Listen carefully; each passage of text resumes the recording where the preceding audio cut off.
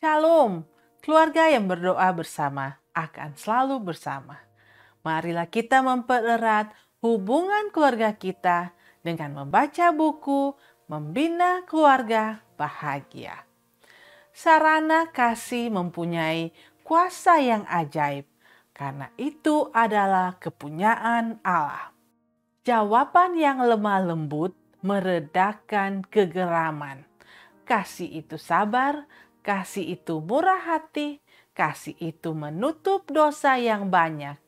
Kalau kita mau mendapat pelajaran itu dengan kuasa mana menyembuhkan kita, akan memperoleh karunia.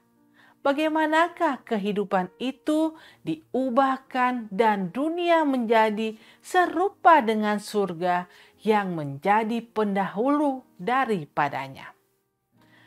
Pelajaran yang indah ini dapat diarahkan dengan sederhana sehingga mudah dipahami oleh anak-anak kecil sekalipun.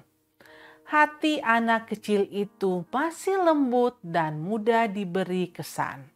Dan bila mana kita yang lebih tua menjadi seperti anak-anak, dan bila mana kita pelajari kesederhanaan serta kasih sayang Juru Selamat, kita tidak akan mengalami kesukaran untuk menjamah hati anak-anak yang kecil itu, serta mengajar mereka pelayanan cinta yang menyembuhkan.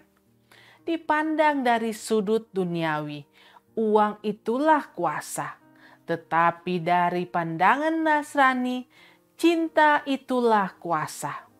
Kekuatan otak dan kerohanian ada tersangkut dalam prinsip ini. Cinta yang murni mempunyai kesanggupan istimewa untuk berbuat yang baik dan tidak dapat melakukan sesuatu apa pun melainkan kebaikan belaka kasih itu menghindarkan perselisihan dan kesengsaraan dan membawa kebahagiaan yang sesungguhnya. Kekayaan sering kali menjadi suatu kuasa untuk berbuat jahat dan membinasakan. Kuasa itu kuat untuk menyakiti, tetapi kebenaran dan kebaikan adalah milik cinta sejati itu. Demikianlah firman Tuhan yang baru saja kita dengarkan. Salam dari Fisdak Media Ministry, Tuhan memberkati.